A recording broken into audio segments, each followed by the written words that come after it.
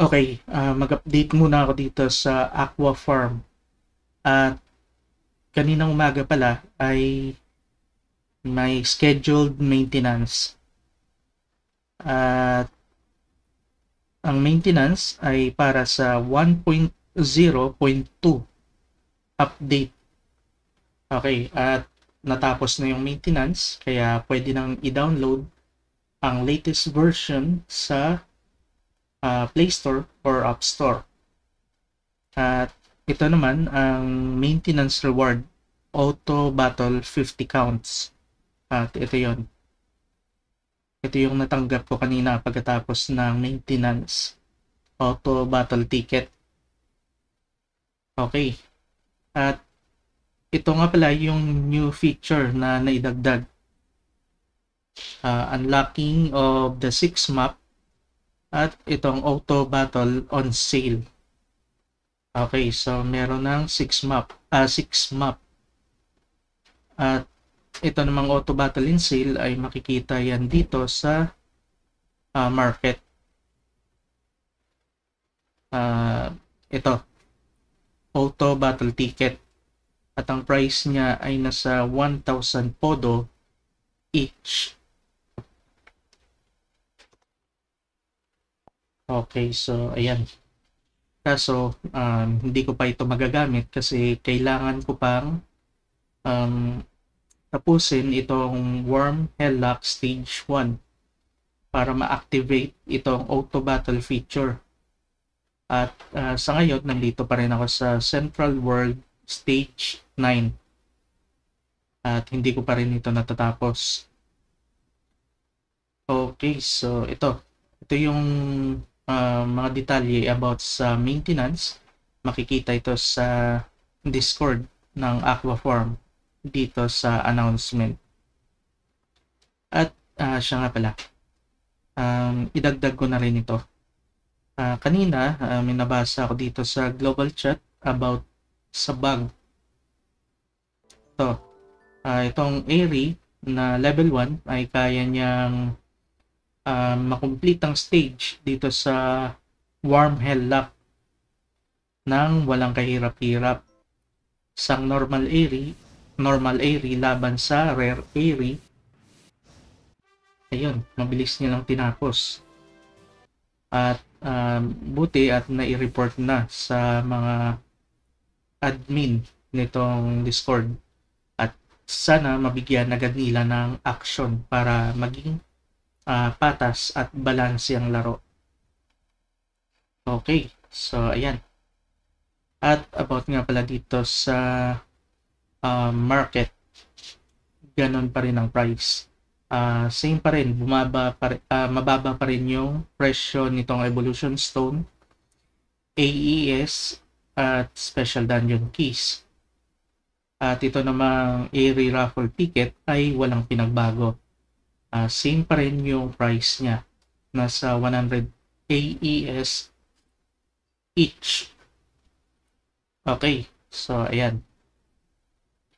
Uh, sa ngayon, uh, hindi na muna ako bumibili ng Evolution Stone. Uh, nakafocus ako ngayon sa pagbili ng AES habang uh, mura pa yung presyo.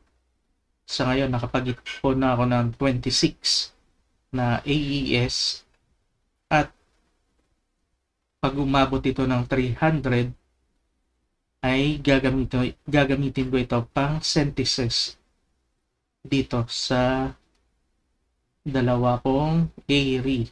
Yan.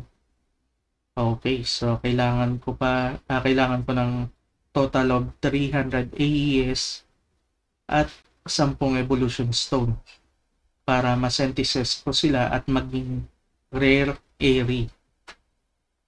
At ito, uh, kung sino yung um, naka-pwesto dito or yung uh, main airy, uh, yung skill niya, yung uh, mai-inherit sa rare na airy.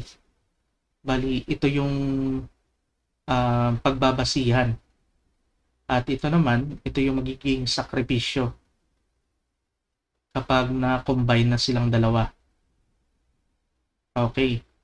At ito ang pipiliin ko kasi yung skill niya ay attack uh, single nerve by enemy and multiple enemies on the same row. Okay. Uh, compare ko dito na multiple enemies. Ang problema nga lang ay nasa middle column. Uh, kung ang setup ng kalaban ay walang um, nakapwesto sa middle uh, gaya nito. Ito. Pag walang kalaban dito ay hindi niya magagamit ang skill. Okay, so useless siya. I-compare dito na ito yung tatargetin niya, pati yung nasa likod ay madadamay sa skill. Tatamaan ng skill. Okay. Uh, gaya nito. Um, uh, dito sa uh, stage uh, dito muna sa stage uh, stage 6 uh, sa floor 1 okay so i-demo ko lang kung paano gumana yung skill nito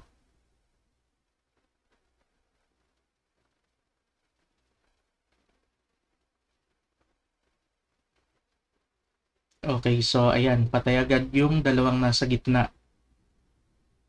Okay, so ayan, naka-farm ako ng 5.59 na pearl. Okay.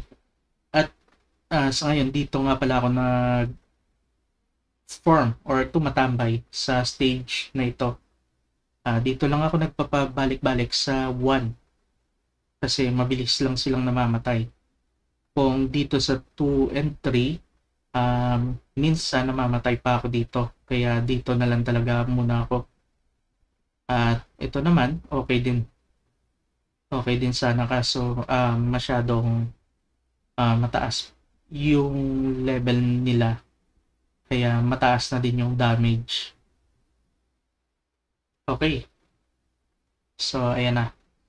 At ito pala. Um, dito nga pala sa journey, uh, ito, kapag nakumpleto nyo itong Central World Stage 8, ay makakakuha kayo nitong uh, normal area na si Toga. At ang maganda dito ay complete yung set niya. Ayan. Ito, i-check ko lang. Ay, pakita ko.